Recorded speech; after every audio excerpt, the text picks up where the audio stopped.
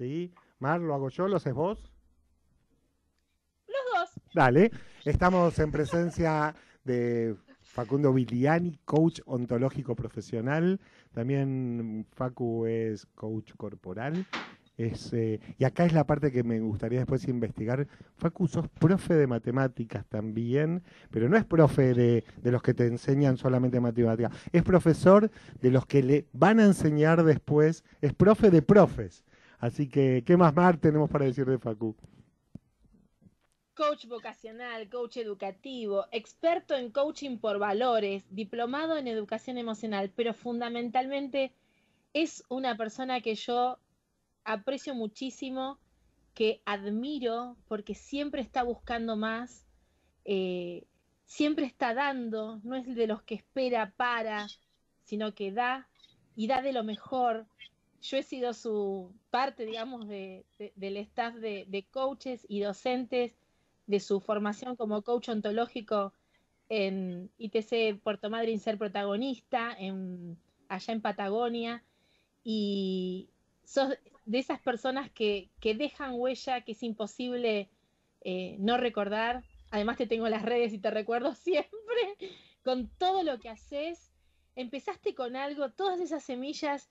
Eh, yo profundamente te honro y, te quiero mucho, te admiro y me encanta verte crecer y verte buscar más.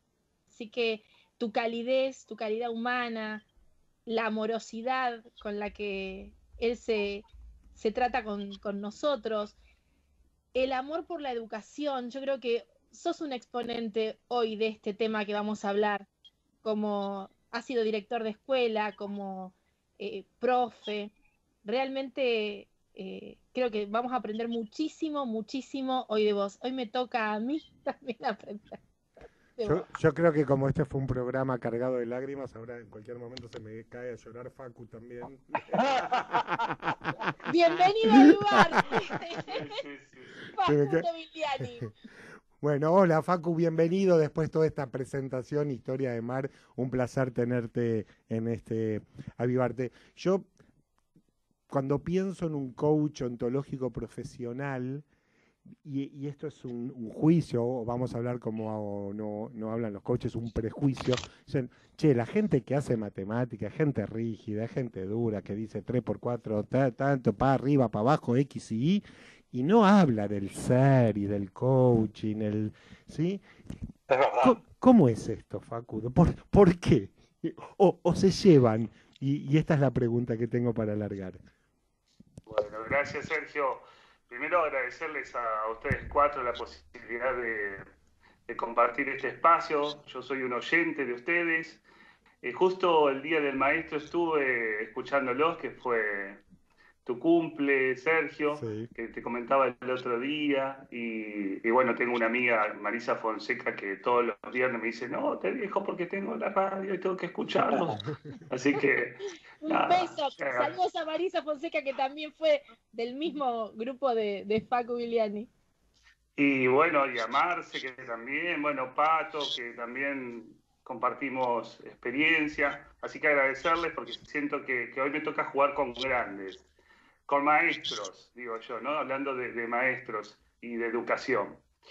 Este, ¿Cómo llegué? Sí, es un poquito esto de, lo cual comentaba, ¿no? Desde la rigidez de la matemática. Sin embargo, creo que lo que me hizo llegar a, acá, a este lugar, a ser coach y, y seguir enseñando matemática y, y, con distinciones de coaching, tiene que ver con que en algún momento fui un alumno que me crucé con alguien que me iluminó, con, con, un docente, con un profe, que cuando yo no veía posibilidades, se vio en mí. Y ahí siento que, que fue la huella fundamental.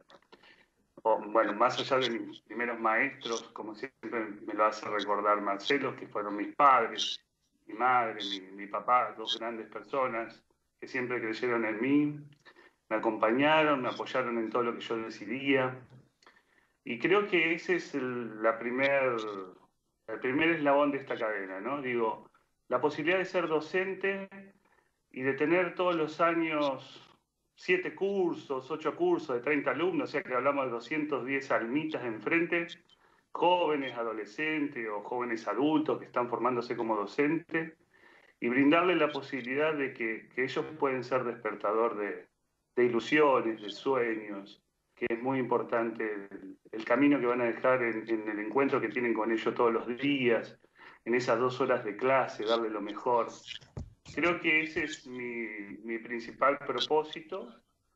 Y bueno, y la matemática fue un, un área bastante compleja en mi vida, tenía una maestra, yo siempre cuento la misma historia, la señorita Beatriz, que venía con su jopo levantado de spray y sus ojos pintados con sombra violeta, que ya me daba miedo cuando la veía entrar. ¿Cuál gasalla?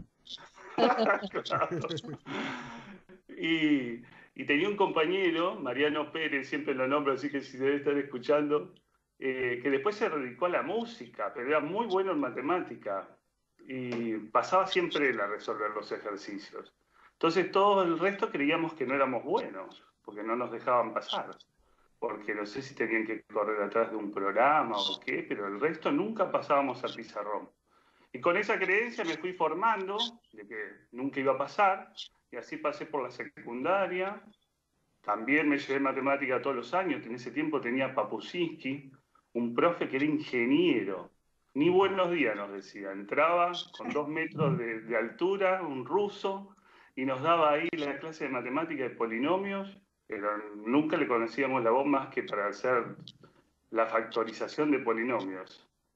Y así fui que, claro, y así fui que me la fui llevando todos los años cuando me recibí de tanto estudiar en el verano para rendirla, lo que sabía era matemática. Y en, el, y en el transcurrir del tiempo, en la Argentina que a veces nos toca pasar momentos difíciles donde no había trabajo, me, dedico a dar clases particulares de matemática. Y ahí empecé a encontrar ese andamiaje que decimos los docentes entre la dificultad y el aprender, ¿no? Digo, cada vez que me encontraba con otro que había pasado por lo mismo que había pasado yo, encontraba las palabras justas como para acercarlo. Y ahí me di cuenta que algo brotaba de mí. Así arranqué el profesorado, me formé como docente y en segundo año del profesorado iba a dejar nuevamente la carrera porque, bueno, tenía que trabajar, salir a la vida, hacer otras cosas. Y un profe que lo reconozco con mucho amor, siempre digo que cada vez me parezco más a él, gordo, pelado y de barba, Y, y creo que en el corazón también, porque de los 50 alumnos, él me miró. Y eso para mí fue muy importante él se dio cuenta de que, de que a mí me gustaba enseñar, que me gustaba estar para los otros. Que no era solo el contenido de matemática, era el buen día, buenas tardes, ¿cómo estás? ¿Necesitas algo? ¿En qué puedo ayudarte? Y a partir de ahí mi carrera cambió. Yo digo que empecé a ser un profe de matemática humanista, ¿no? O sea que el contenido era importante, pero lo más importante era quién estaba ahí sentado enfrente, quién estaba para aprender con qué disposición, en qué estado anímico, ¿no? Y bueno, y así, y así fue transcurriendo por un montón de escuelas, barrios, cuando uno empieza a dar clase, empieza por los lugares que los otros no quieren. Entonces me tocó patearme lugares no, ¿no? Perdón, pero yo creo que no es tan antagónico, ¿eh? Porque si uno se pone a pensar, el buen vivir, que hablamos mucho en este programa, también se trata de descubrir las mejores fórmulas la mejor manera de llegar al resultado. Y la matemática no es eso. Claro. ¿No? Me estaba acordando recién que con Sergio fuimos al primer, al mismo colegio, en el primario. Yo aprobaba.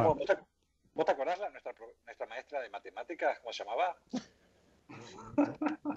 Me mataste. fuimos al mismo grado, pero el señor es más mayor que yo. No, no, es más menor, es más menor. Eh, pero, Marta, se llama Marta, la maestra. La Mora Marta. Marta. y Marta, la verdad que nos hizo odiar la matemática, porque era tan aburrida. Y por eso vos sabés que gracias a la matemática yo elegí psicología, porque más allá que me gustaba, yo me fijaba en los programas la carrera que no tenga matemática. Lo tiene un poco.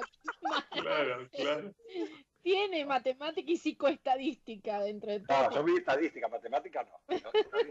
en la UA tenía matemática. Y escuchame una cosa, Facu, ¿y, cómo se cómo se, se integra las distinciones aprendidas como coach ontológico en el mundo de la matemática o en, tu mundo educativo?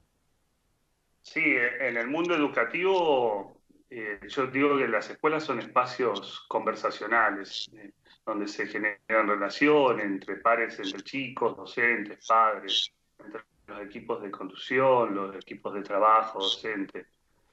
Y, bueno, hace un tiempo había tomado un cargo jerárquico de director y sentí que me faltaban herramientas y que quería ir por más. Y ahí fue que descubrí el coaching ontológico y me, formé. Y, creo que a mí me facilitó mucho eh, todas las distinciones que aprendí del coaching, para, no solo para mi vida, sino para trabajar con otros, eh, para trabajar con los padres, para trabajar con los equipos docentes. Patito.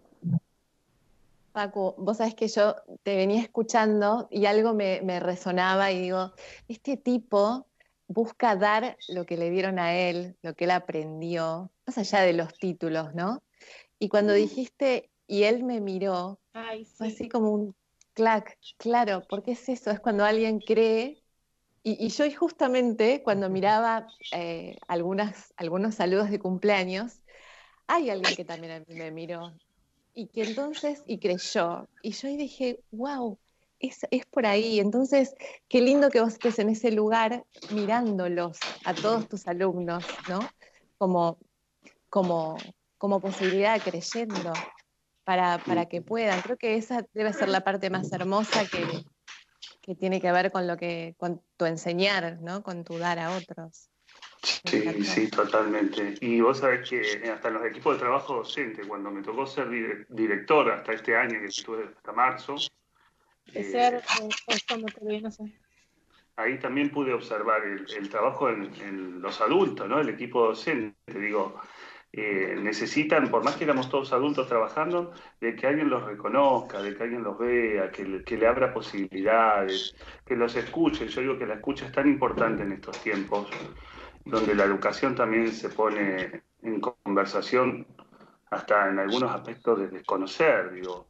Eh, hay un montón de cuestiones que tienen que ver interna a la educación que, las conocen aquellos que están el día a día, digo, ¿no? O sea, hoy me toca enseñar desde la virtualidad y, a veces les pedís que enciendan las cámaras y, aquel que no entienda no puede comprender que por ahí hay un chico que, no les gusta el lugar donde está y no lo quiere mostrar, o, o que está con otros que pasan por atrás, digo, o sea, poder interpretar eso es también respetar a los chicos y ahí entramos en los valores, digo, ¿no? Digo, me parece que es tan importante eh, los valores propios y los valores de quienes comparten con nosotros todos los días. en un mundo donde todo el tiempo se le exige a los chicos cumplir determinados objetivos o cosas que ni siquiera ellos se los plantean, ¿no? Se, se viene del mundo de los adultos y donde todo es tan dinámico que no paramos a mirar a otros, no hay mucho tiempo, ¿no? Entonces, eh, qué lindo eso que, que decís, Facu. Y, entiendo que ahí sí podés unir también las distinciones de coaching, eh, que le dan más fuerza a, eso que vos sentís, ¿no? Hoy cuando, cuando compartía que ibas a estar en la radio, a, gente que es del mundo del coaching, me preguntaban y, los invitaba a escucharte para decir qué hace en particular o qué, qué área maneja un coach especializado en educación. Vos que tenés la especialización, esa es la primera pregunta. Y después es la segunda pregunta que, quiero, por ahí la querés enganchar, es ¿qué espacio tiene la educación formal hoy por hoy en este país para poder integrar también estas distinciones o esto que vos haces como coach? Em, como coach y, en el campo de la educación, que algunos por ahí se especializan en coaching educativo, desde el coaching aprendemos distinciones, una forma de mirar el mundo, el observador que estamos siendo, cómo, cómo interpretamos el lenguaje, la forma de, de generar contexto nuevo, de ver posibilidades, desde la escucha, desde mm, cómo hacemos nuestros pedidos, ciertas distinciones que tienen que ver desde el coaching que están en lo cotidiano, en el ámbito educativo y yo digo hasta en la familia propia, ¿no? Entre una relación de pareja, cómo te pido, cómo te digo las cosas, en qué emocionalidad, eh, en qué hecho me baso cuando te pido algo, digamos, ¿no? Digo, ahí aparece el coaching educativo. Y, en el ámbito formal, yo creo que desde que apareció la pandemia o este virus, se le empezó a dar un poco más de importancia a las emociones dentro de los ámbitos educativos, que ahí me parece que es un, punto clave hoy, ¿no? Digo, eh, reconocer que no solo entra la persona a la escuela para almacenar contenido, información, ¿no? Sino que además entra un ser que viene y deja a su familia en su casa, en un contexto, que está viviendo una realidad, que se relaciona con otros compañeros, que aparece el bullying, ¿no? Digo, y ahí hay que trabajar, cómo se, relacionan entre ellos, el respeto, los valores, la forma de decir no, qué tipo de declaraciones vamos haciendo al mundo, a qué sí le voy a, a qué cosas le voy a decir sí con mis compañeros a qué cosas no, en la adolescencia, en la juventud. Digo, ahí aparecen muchas distinciones. Y la educación emocional en las escuelas, yo creo que se le empezó a dar mucho más importancia en este último tiempo y que lo celebro, porque mm, yo que formo docentes en el, en el área de matemática, en didáctica, en el nivel primario inicial, me pasa muchas veces que, que las clases virtuales que estamos teniendo, les pregunto, ¿cómo están? Bien, ajá, pero ¿qué sería bien? Se quedan como, viste, como diciendo, ¿qué me está preguntando, profe? ¿Viste? No, no, no pueden registrar sus emociones, cómo pasaron ese día, si llegan cansadas, si están agotados, si están emocionados, si tienen eh, motivados, entusiasmados, qué les pasa con todo esto de hacer los trabajos prácticos en PDF, si, les da bronca. Y cuando se generan esos espacios de conversaciones, donde hay, en este caso, un, docente que habilita eso, que dice, ah, además de aprender matemática, hay alguien que quiere saber cómo estoy yo. Sí, y eso ya genera otro vínculo. Sabes, Facu, que, bueno, yo te escucho y desde que empezaste prácticamente a hablar, que estoy muy, muy emocionada. Eh, primero porque también me recuerda, eh, bueno, yo soy docente hace muchos años de la universidad y somos como un poco aquellas personas que, que muchas veces los aprendices eligen para contar sus secretos, para eh, contarnos que se pelearon con los novios o, que los padres se separaron o que perdieron sus trabajos. Y yo digo, es un privilegio tan grande, tan grande eh, el ser docente y, el, tener un rol dentro de la, educación del, presente y del futuro de, de, otros, ¿no? Y esto que vos traías, lo que más, más me tocó fue lo que trajo Pato también, de que cuando alguien te ve, la importancia, la importancia de alguien que con mayor autoridad, que vos le estás dando autoridad para aprender, que te vea posibilidad. Eh, ¿Cuántas veces hay docentes que no ven esa importancia y que lo dejan pasar? Eh, y por otro lado, ¿cuántos yo digo, hoy en gran parte alguien vio en mí, más de una persona vio en mí ese potencial y pude decir, bueno, acá hay algo, ¿no? Eh, así que la importancia de poder ver en el otro y transmitírselo. Facu, este, este camino que vos estás Perdón, perdón, Ser, está Marce levantando la ah, mano hace un rato. No, para, mí estaba, para mí claro. estaba escribiendo. Seguro lo vio. No, yo, déjame, espera, espera, espera. Lo que pasa es que, eh, no sé, Facu, como vos no no para nunca con las manos. Entonces no sé si está tocando el teclado, si fue a agarrar algo. Entonces, Estoy diciendo, quiero preguntar. Ah, Marce, ¿querés preguntar algo? Pero no me ves, no me ves. Gracias. Eh, no, yo estaba pensando en esto. ¿Qué edad tenés, Facu, para... Yo, sí, 45, para 46. Ah. Pareces menos, Facu.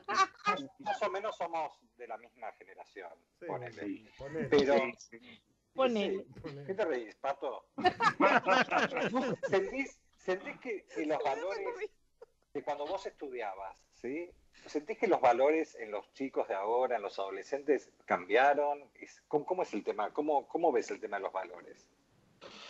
Eh, yo creo no, sé si cambiaron, yo diría las formas de, enunciarlos. Por ahí, en, mis tiempos, a mí me pasa con los chicos que yo, cuando hablamos de respeto, a mí me, importa que me cuenten con sus palabras qué es para ellos el respeto.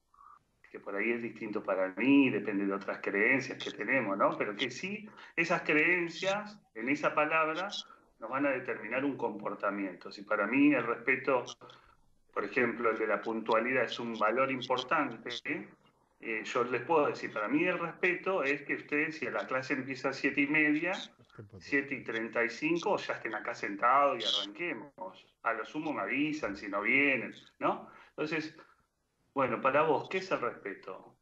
Escucha, leí, profe, para mí el respeto es que si yo te entrego un trabajo y vos me lo pediste en dos semanas, a la semana siguiente me lo traigas corregido. Mira qué, qué interesante.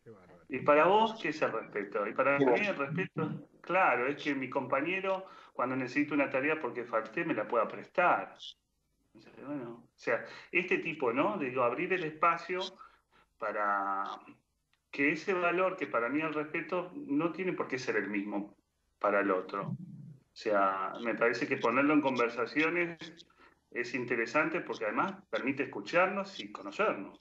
Pero aparte ahí está estás trayendo un valor que para mí le doy muy, mucha importancia, mis compañeros lo saben, que es el tema de la coherencia. Porque vos, al preguntarle para ellos, ¿sí? ¿qué es para ellos el respeto? Y si vos cumplís estos pactos de respeto mutuo, ahí es una coherencia entre lo que decís, lo, lo que haces, lo que sentís y lo que transmitís. Y esto es un valor para mí en sí mismo. Sí, sí, sí. Y el valor que genera tu palabra con decirlo, es esto que Marta decía, la palabra tiene un valor por sí mismo y poder cumplirlo con el compromiso, con pactar con esto que vos decís, horarios, o sea, yo me comprometo a entregarte el laburo y vos comprometete a darme la devolución y ahí se genera este vínculo de ida y vuelta. Sí, y vos sabés que a mí, a mí me pasa, siempre me pasó, pero cada vez que yo digo que cada vez que voy creciendo voy teniendo menos filtros ya, ¿no? Porque al principio era bastante acartonado, ¿no? Digo, ahora que ya pasé por una gestión como director y que, y que me habilité ese espacio de decir, bueno, este soy yo como profe, este soy yo como dile y soy el mismo. Y me, y me pasa ahora que volví al aula, que amo estar con los chicos porque todo el tiempo me, me devuelven esa energía, esas emociones de alegría, de juventud, de cosas que me inyectan a estar siempre de buen ánimo, ¿no? Claro. Digo, este, me pasa con ellos que, el tema de que me voy dando cuenta a medida que va pasando el tiempo y, lo reafirmo más, ¿no? Digo que cuando ellos reconocen que vos sos el mismo en esta coherencia entre lo que decís y haces, digamos, te dan no solo generan y fortalecen el vínculo, sino en algunas ocasiones te toman de modelo, aunque parezca medio vanidoso, ¿no? Pero de modelo, de, ejemplo a seguir. Dice, a ver, mi profe no solo le enseña matemáticas, sino que además nos reímos, charlamos y está todo bien. Porque de eso se trata la vida, no es solo aprender contenido. Los polinomios son importantes, dediquémosle el tiempo que necesiten.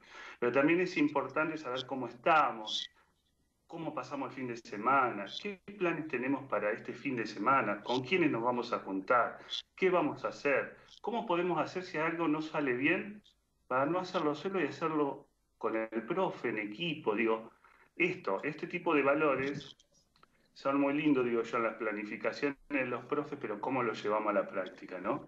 Digo, bajarlo, bajarlo a tierra. Bueno, está bien enseñame matemáticas. Facu, vamos a, como, como todos ya saben, todos los oyentes que están del otro lado, tenemos que cumplir con el corte de las 10 de la noche de comercial. Vamos a seguir en un ratito con mucho más de avivarte hablando con Facu Viliani, pero antes de que Patito seguramente se vaya, quiero decirte que un montón de oyentes, un montón de seguidores, un montón de gente te está deseando unas cosas hermosas.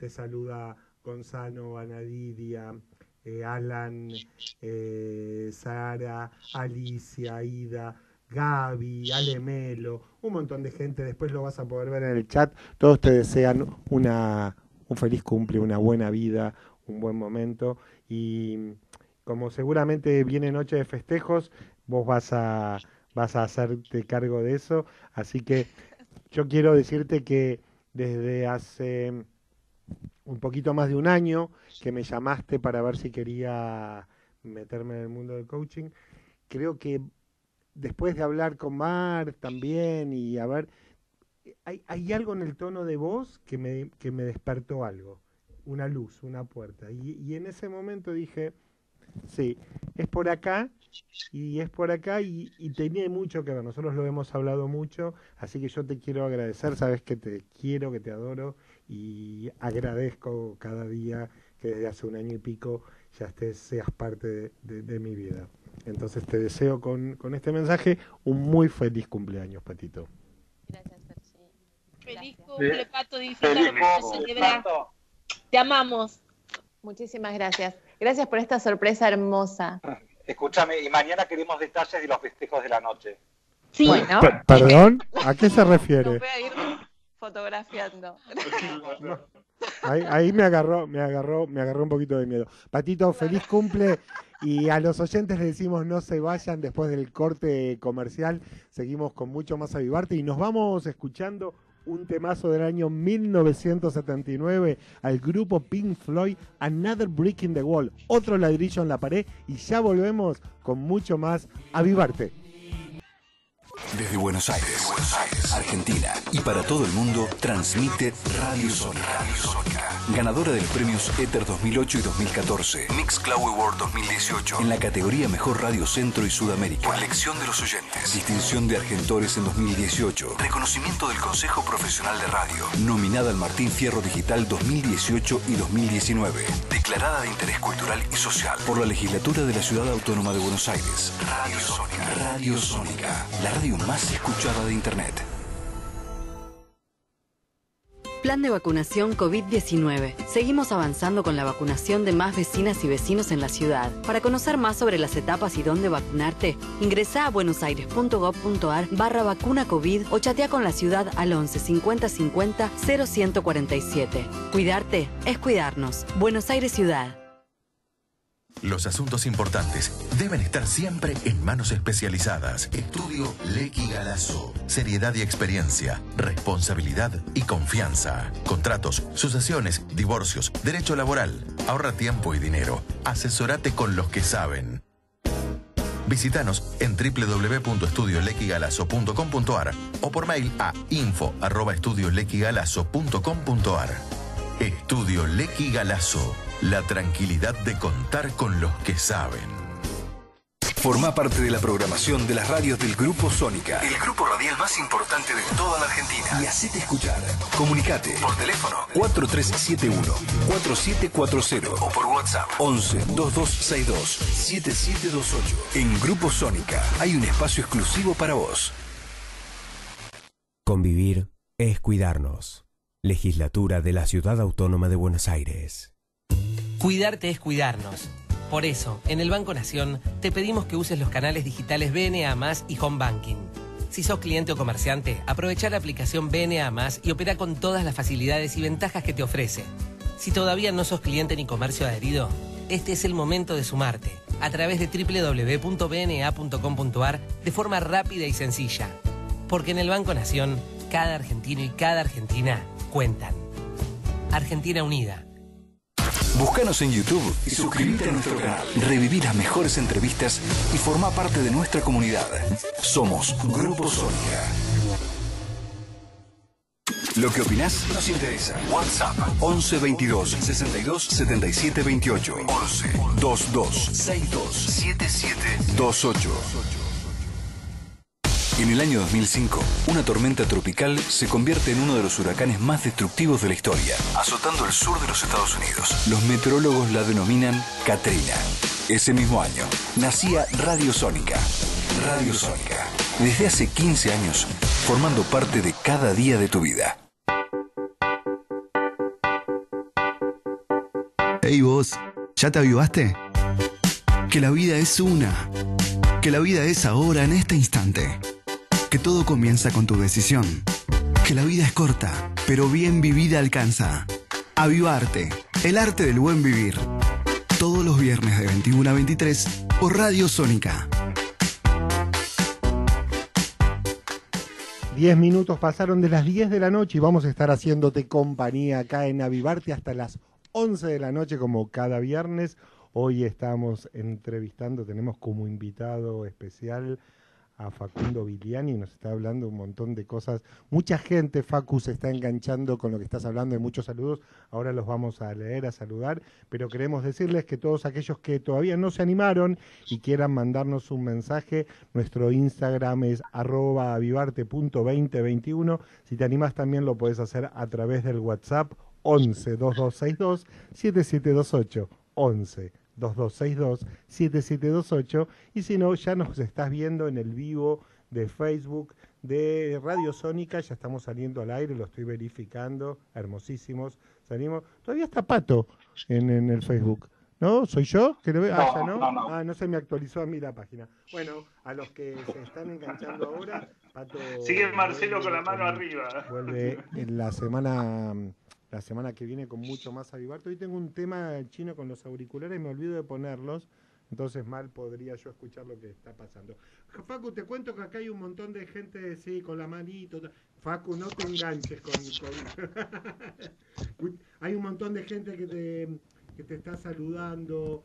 Eh, Gaby te está diciendo que lindo verte, Sol también dice que lindo Facu lo que estás diciendo, Alicia, Noemí, te están dando... Muchos compañeros de él de la formación de coaching ontológico. Sí, son, son la verdad que los amores siempre me acompañan, me alientan, así que nada, los amo, saben eso que los amo. Bueno, vos también te haces amar. Y vos sabés que tuve la suerte de poder integrar Buenos Aires y Puerto Madryn, porque me he hecho muy amigo también de Leandro Ladelia, que estuvimos haciendo cosas juntos, bueno, de Paso, de Gaby Pipa, ¿no? Gente muy linda, de Melo, gente muy linda, muy linda que, nos vamos encontrando en la vida. Facu, ¿qué, ¿cuál es el valor que vos incluirías si tuvieses la posibilidad de, de hacer una nueva currícula? Y que te digan, che, Facu, pone valores como, como parte de, la programación? Eh, em, a, mí, a, mí personalmente los valores que me identifican tienen que ver con la flexibilidad, ser flexible ante los cambios, que me parece que, el sistema educativo eh, todavía sigue manejando cuestiones de bastante piramidal y, y bastantes normativa y formativa en algunas cuestiones que, tiene que ser más flexible. Y, voy específicamente a la currícula de enseñanza, ¿no? Por ejemplo, oratoria, trabajo de emociones, son temas que tienen que estar. Eh, oh, mira, y justamente en eso pensaba en estos días, le contaba a una colega que estaba teniendo problemas en un curso con un chico que, que estudiaba siempre para los exámenes escritos 10, 10, 10 pero cada vez que le pedía un oral, el chico no hablaba. Le decía, no estudié. En realidad decía, no estudié. Entonces ella le llamaba la atención, ¿no? Y, tenía que ver con la exposición, con mostrarse. Le digo, a ver, busqué, busca otro camino. Y ahí se empezó a dar cuenta que tiene que ver con, con, mostrarse. Y esto nos pasa mucho a los adolescentes. Cuando están creciendo, se desarrolla el cuerpo, no, no logran todavía, hay un momento de, la edad, de la etapa adolescente donde no manejan el cuerpo, me ha pasado a mí, a ustedes también, que nos chocamos las puertas, a mí, todavía me sigue pasando todavía. la puerta, la silla, digamos, somos torpes. Y bueno, y eso tiene que ver con la exposición muchas veces, mostrar su cuerpo, su tono de voz cuando va cambiando, viste que mi abuela decía que aparece el gallo Claudio, me decía, cuando se me iba la voz para un costado y iba para el otro. Digo, esas son cosas que le pasan a los adolescentes y que los docentes por falta de, conocimiento, a veces, por no tener en nuestra formación este tipo de, entrenamiento, de buscar estos recursos, no lo podemos distinguir.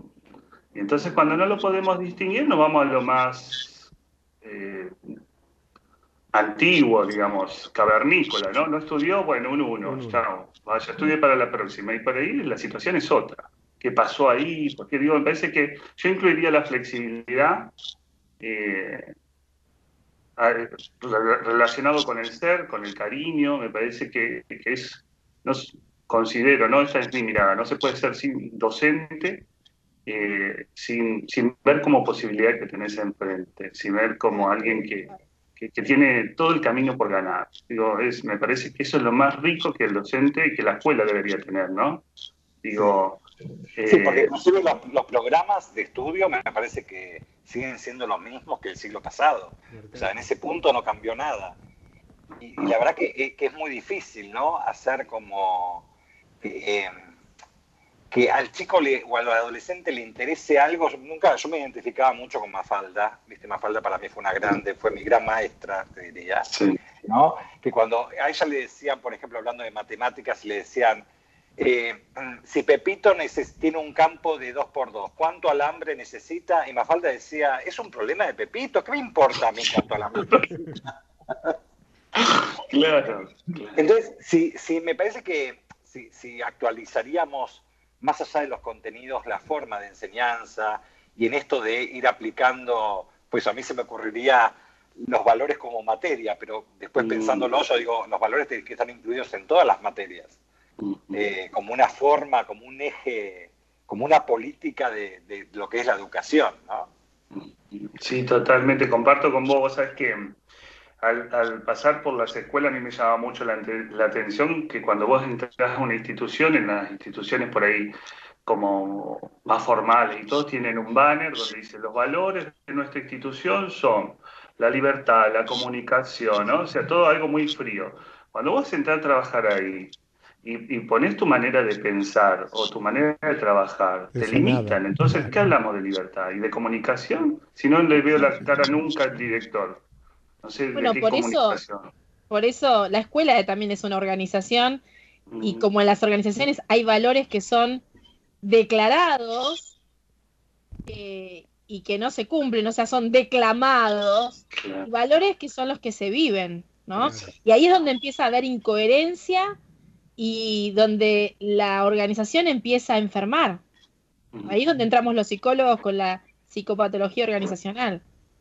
Muchas veces entrando en lo que se llama la esquizofrenia organizacional, ¿no? Donde no hay coherencia entre el pensar, el decir, el sentir y el hacer acorde a los valores declarados. Quería, quería preguntarte, Facu, ¿cuánto ves que, porque a veces tengo la sensación que que es como que queda bien. ¿Cuánto ves que el mundo educativo trabaja también con la aceptación? Y cuando hablo de la aceptación, hablo de la, de la aceptación del otro como un legítimo otro, pero como un otro diferente, con, con una elección, con una, muchas veces una sexualidad.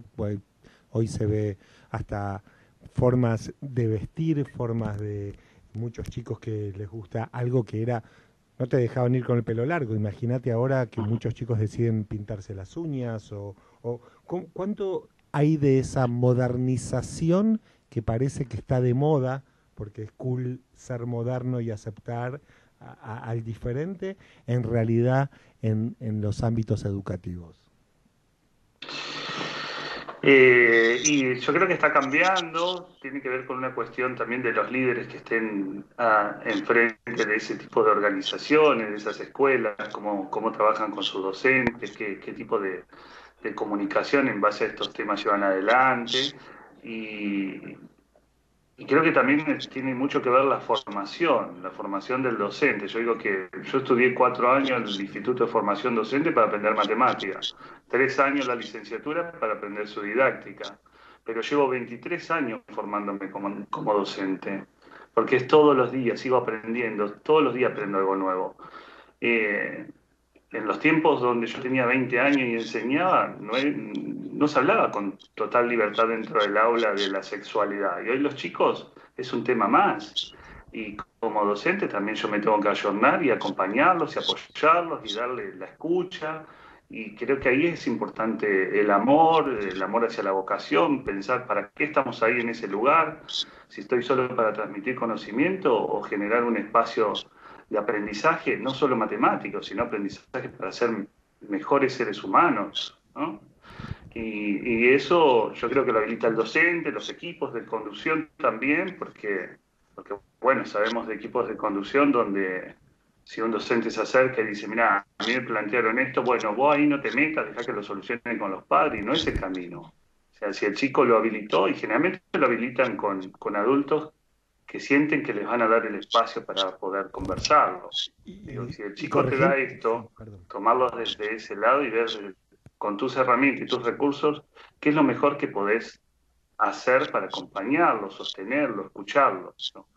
¿no? y te decía que por ahí lo habilitan con vos o lo habilitan con determinados docentes porque no está habilitado en sus casas, con sus padres. Exacto, exacto, totalmente.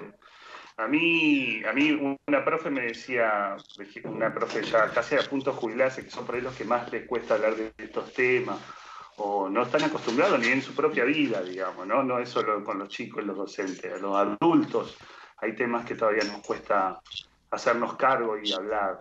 Eh, de forma con mucha libertad, ¿no? cuando vos no sepas qué hacer en esa situación, lo mejor que podés ser es ser humano.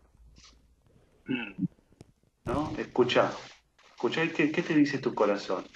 Escuchá, y escuchalo, ¿no? Obviamente.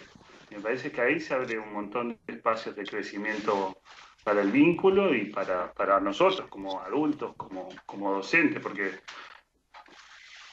no, no solo nos toca ser muchas veces los profes, a veces hasta somos un poco la palabra del papá. A mí me han dicho muchas veces en el aula más, seño, digamos con barba y todo, ¿no? y digo, ahí, eh, no sé, Marce por ahí me puede ayudar más, pero para mí ahí también hay una cuestión de que hay algo que ellos ven en mí que por ahí no lo tienen en sus hogares, digo, ¿no?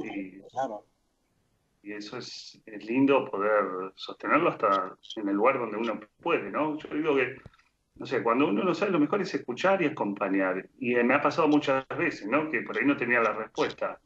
Y ser sincero, mira, en este momento no, no sé qué responderte, pero déjame que lo averigüe, déjame que lo investigamos juntos.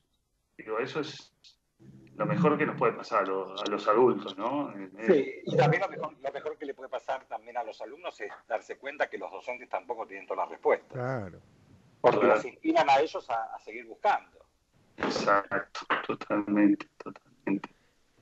Así es ¿qué, ¿qué condiciones tiene que tener para vos un docente que marque una diferencia en el mundo? Qué linda pregunta, porque vos sabés que esa pregunta siempre me, la, hago, me la hago todos los días, ¿no? Cuando, empezando por el propio mundo y el mundo del, del aprendiz. Se cortó un poquito. Se cortó un poquito. A ver, Mar. No lo estoy viendo. No, no, él está bien. Vos, a ver si repetirle la pregunta, Mar, o el último comentario. ¿Qué condiciones tiene que tener para vos un docente que marque una diferencia en el mundo, empezando por el propio, siguiendo por el de los aprendices y que impacte en la sociedad en general? Eh, yo siempre te hablo de mí, ¿no? Yo digo, para mí marcó mucho el para qué, para qué estaba yo ahí. Digo, ¿para qué estaba ocupando el lugar donde, de donde elegí estar? Porque lo elijo todos los días. Yo creo que si hoy tuviera que volver a elegir otra carrera o otra profesión, volvería a ser docente sin, sin dudarlo. No sé si de matemática, por ahí de otra área. Matemática en ese momento me resultó fácil, después me dediqué, me especialicé en la enseñanza, pero ser docente me parece que eh, es ser servicio, es estar para el otro, y donde muchas veces eh, siento que soy yo el afortunado de ese encuentro, ¿no? Digo, cada vez que, me encuentro con este otro, eh, aprendo yo, eh, me, siento mucho más humano. Y en la formación de mis estudiantes del profesorado, que cursan su última materia generalmente y se reciben, los invito a que se piensen en eso, para qué llegaron ahí, qué quieren, qué quieren ¿qué, huella quieren dejar en, esos chicos? ¿no? Digo, me parece que la pregunta esa es importante, digo, eh, cómo acompañarlos, cómo sostenerlos, cómo estar para ellos. Y el amor, yo digo que nosotros tenemos, Claro, digo, hablando de emociones, con mi profe de emociones, digo, los docentes tenemos una emoción muy a la mano que es la ternura, ¿no? Digo, la ternura, esto de acobijar, sostener, abrazar, cuidar, exacto.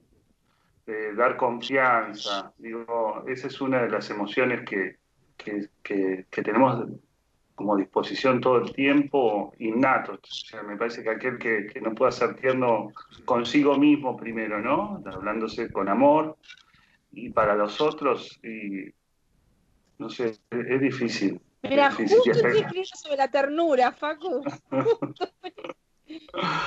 y, claro, y también pensaba en esto, digo, de, de mostrar esperanza. Me parece que también la esperanza es algo importante en la docencia, eh, desde el optimismo eh, puro, digamos, ¿no? De creer que las cosas, cuando parecen difíciles, tomarlas como desafío y ver qué podemos aprender de ahí para trascenderlo, ¿no? Y ser mejor personas. Desde lo espiritual, desde el amor, digo, ¿no? Que no solo se trata de,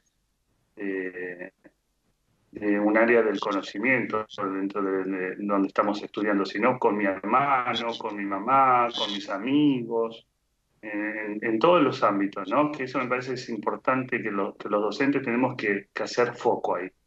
Me parece que ahí está el cambio de la sociedad que queremos, en, que cada vez se acerquen más a lo humano, a, mostrarse, ser. Déjame, déjame preguntarte, Facu, y te voy a pedir que no contestes ahora, vamos a ir a, un tema musical más para, para irme echando, pero es algo que es inevitable en los últimos, en el último mes sobre todo, se habló mucho de la importancia de, estar presente desde lo físico y no todo, no todo es la virtualidad y en la educación y me gustaría saber eh, tu mirada de esto, sin meternos en ámbitos políticos, porque cada uno tiene la creencia política que, quiere, que elige, pero sí desde qué notas vos de, mm, en, tus, en tus aprendices, en tus alumnos, en los chicos del colegio, eh, que han ganado y que han perdido con esto que no pudimos elegir, pero nos tocó vivir en, en este año y medio que vamos transcurriendo. Te dejo esta pregunta, ¿te parece? Y enseguida nos volvemos a conectar.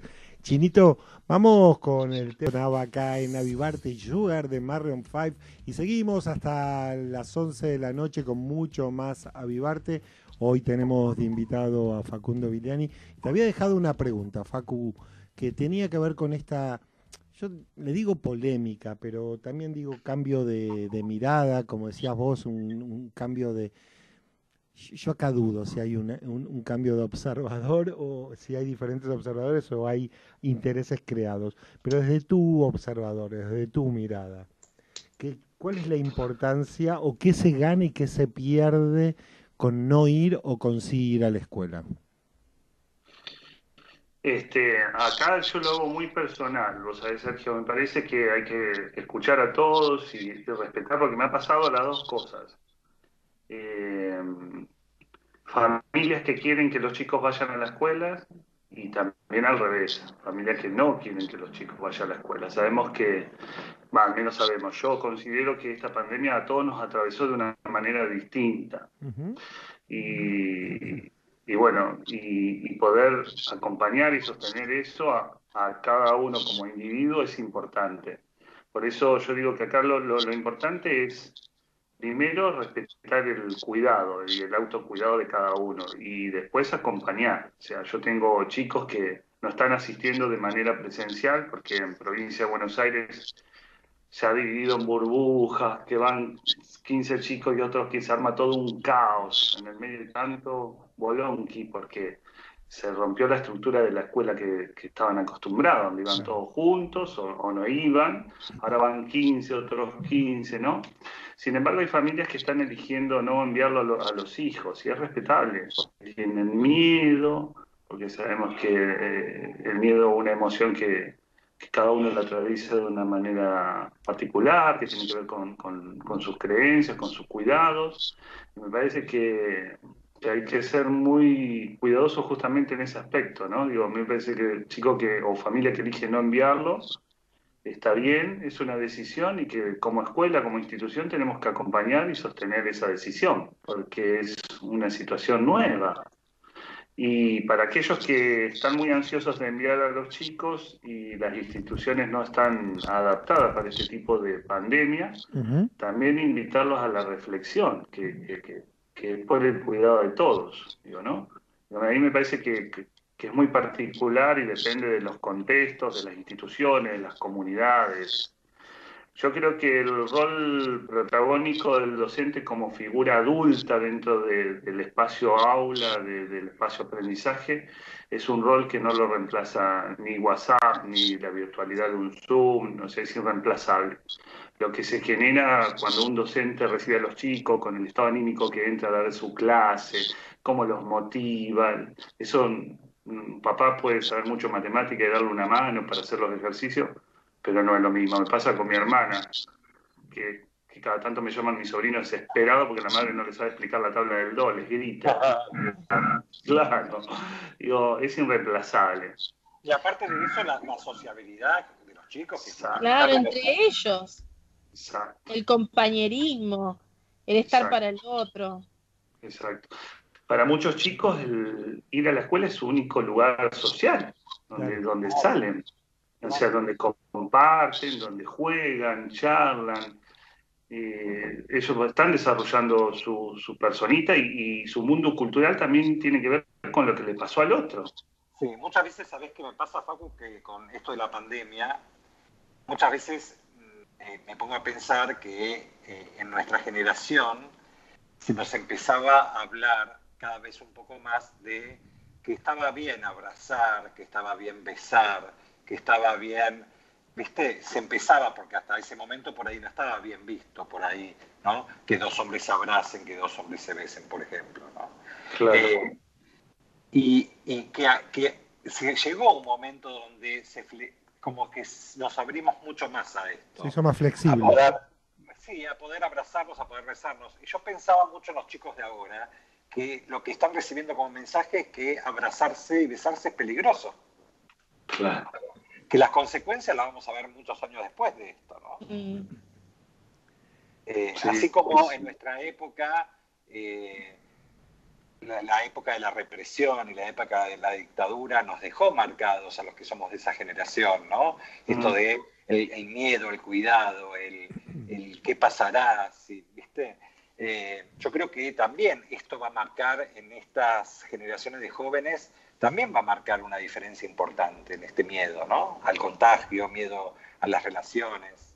¿Cómo lo veo No, sí, totalmente comparto con vos. Me parece que esto lo vamos a, a, vivir o a poder evidenciar en un tiempo mucho más adelante, ¿no? Cuáles son las consecuencias. Me parece que por lo pronto entender que es que, es una manera de cuidarnos, pero esto no significa indiferencia, ¿no? Digo, que yo no te pueda abrazar no significa que, que, desee estar con vos, que me sienta cómodo con vos, ¿no? En este momento no puedo. Igualmente los chicos lo hacen, te digo, ¿eh? o sea, los chicos se encuentran, sí, los chicos se encuentran, después nada, entran a la escuela a veces sin barbijo y se lo pasan entre ellos como diciendo, uh, antes que me rete el director que me ve sin barbijo, nada, lo hacen los chicos. Eh, yo creo que también tiene que ver una cuestión de, de enseñarles que en este momento estas son las normas que necesitamos para poder convivir con el respeto hacia el otro también, ¿no? No solo el, propio. Que esto va a pasar, que mientras tanto nos sirve cuidarnos, mantener distancias en, cuando hay que trabajar, tener el barbijo, lavarnos las manos, digamos, todo esto que son unas nuevas normas que estamos, como enseñamos normas de escolares dentro del aula de convivencia para que tengamos acuerdos, que no son solo normas, sino acuerdos consensuados entre estudiante y alumno y, docente, este es un acuerdo que necesitamos conversar, que tiene que ver con el cuidado propio y el cuidado hacia otros.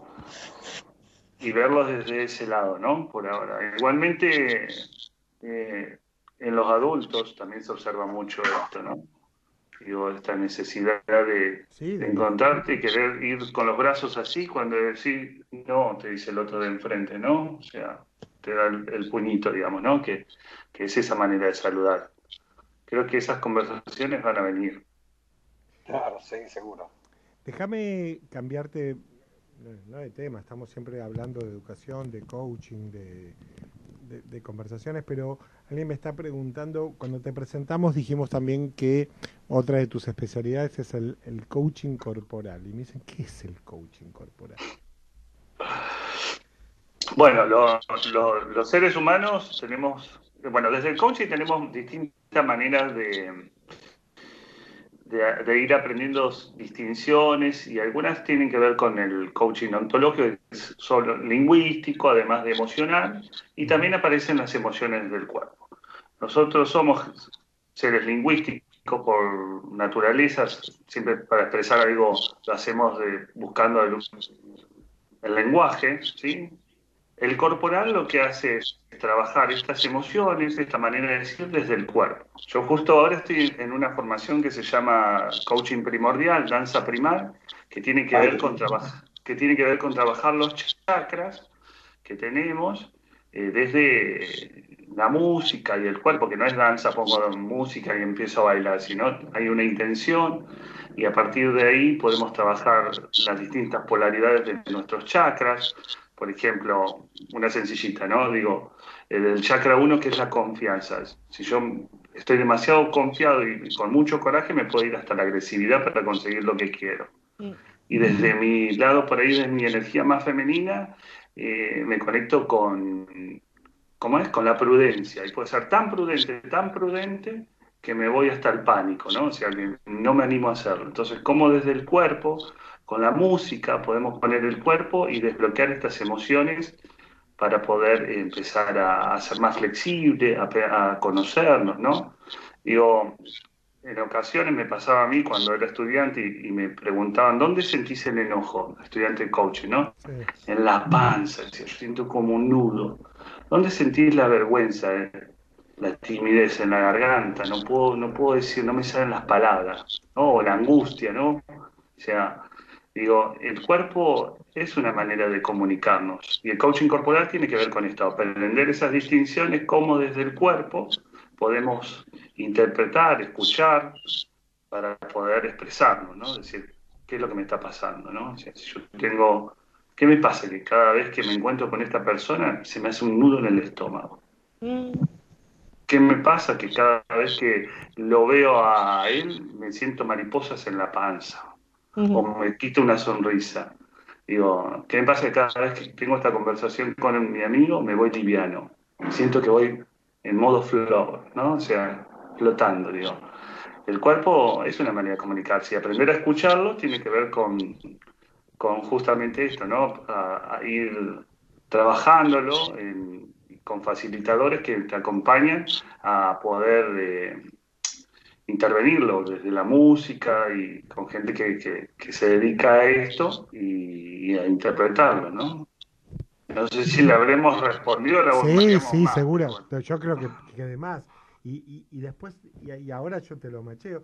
Y esto, estas distinciones de lo corporal, ¿es posible llevarlo también al ámbito educacional, a la escuela pública? O tiene que claro. Tiene que ver. sí totalmente. Vos sabés que mm, cuando yo me formé en la, parte de corporal, aprendí sobre, sobre los elementos y disposiciones corporales, ¿no? Cuántas veces estamos parados en la estabilidad, ¿no? Y me cuesta eh, cuando me cambian las cosas que yo quiero hacer, ¿no? Porque querían que yo sea así y como no son como yo quiero, me enoja. Y aparecen las emociones, el enojo, la bronca, la ira, ¿no? y una persona que tiene con más disposición a la flexibilidad, bueno, a ver, ¿qué pasó? Bueno, no son, ver qué recursos tenemos, cómo lo podemos hacer. Estas disposiciones corporales, forma de pararnos en el mundo, también nos ayuda a tomar decisiones en la vida. Digo, si un alumno, yo, a mí me pasa, yo creo que cada vez me voy poniendo más grande, también más permisivo, cuando los chicos me dicen, profe, no tome la prueba hoy. O sea, hoy no es el día, no, no nos sentimos bien. Bueno, Vamos a hacer una cosa, hagamos un simulacro de prueba juntos. ¿Por qué no te tuve, vos? Ahí estoy habilitando mi disponibilidad de la flexibilidad, digamos, ¿no? Y además escuchando, digo, bueno, para que de, eso podamos sacar algo todos juntos, ¿no? Cuando tengo que tomar una decisión. O sea, yo contaba que en marzo renuncié a un cargo de director.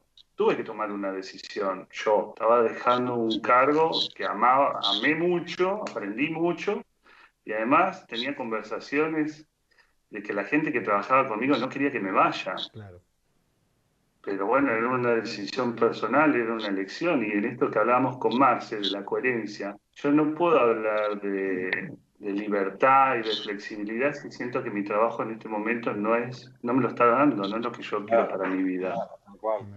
Entonces, a mí Facu me hace acordar, ¿saben a quién? A, a la Sociedad de los Poetas Muertos. Ay, sí. Ah. yo creo que Facu es el profe que cualquiera de nosotros le gustaría tener. Yo creo que soy el profe que yo... Me hubiese gustado tener un profe como vos. He tenido, eh, he tenido profesores muy buenos. Facu, tengo, tengo una mala noticia. Nos quedan los últimos 10 minutos, vamos a ir cerrando para, para hacer la despedida.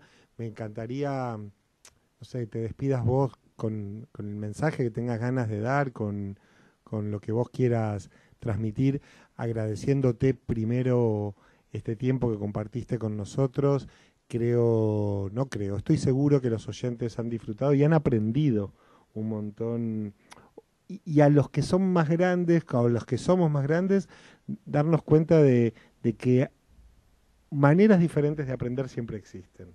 Eh, salir de, esos espacios tradicionales está, está buenísimo. Pero te dejo la palabra a vos para que, para que acá digas lo que tengas ganas.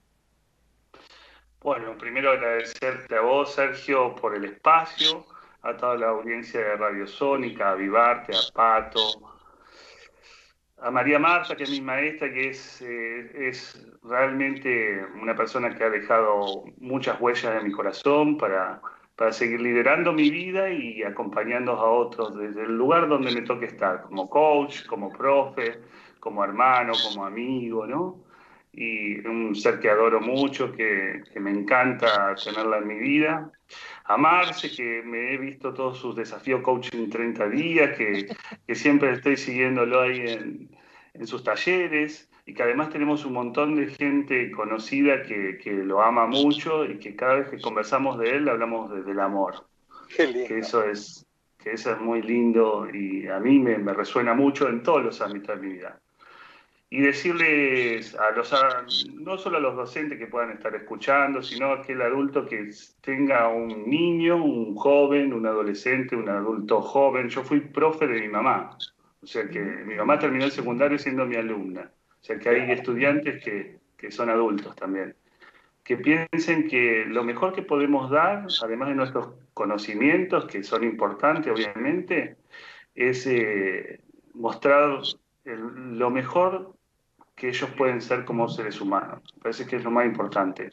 Y, verlos como posibilidad es eh, ampliar ese horizonte para que que todo lo que ellos quieran ser, sepan que lo pueden ser en la medida de que crean en ellos. Digo, me parece que ese es lo mejor que podemos regalar como adulto acompañando a un joven. ¿no? Y bueno, agradecerles, agradecerles porque la pasé genial y súper cómodo. Gracias, Facu. Dejanos, decirnos tus redes, aquellos que tengan ganas de seguirte. Sé que estás incursionando también en el, en el mundo del podcast, así que también ahí cuando, cuando se termine desarmando eso, dejales tu Instagram, a dónde te pueden encontrar para, para seguir viéndote. Eh, Facu es un tipo que hace muchos vivos también en Instagram con, con muchas duplas muy interesantes, así que no se lo pierdan. ¿Cuál es la dirección? Arroba coach Facu Biliani eh, de Instagram y en Facebook Facundo Biliani. Bárbaro. ¿Y estás haciendo alguna actividad, algo que quieras contarnos e invitarnos no, ahora en estos momentos estamos haciendo un taller con Leandro mm, La Bella de Enfocarte. También egresado del ITC. eh, de nuestra escuela. Claro, eh, enfocarte que tiene que ver con eh, pensar cuál es nuestro propósito en la vida, desde las distinciones del coaching. Y, y bueno, eso por ahora, estudiando. Buenísimo. Bueno, desde acá nada más que agradecerte, despedirte, te mandamos un, abrazo. Gracias a vos, Marce, y gracias, Sergio. gracias. Hasta cualquier otro, otro momento. Te despedimos. Un abrazo. Gracias. Un abrazo grande. Bueno, nos quedan los últimos 10 minutos habituales.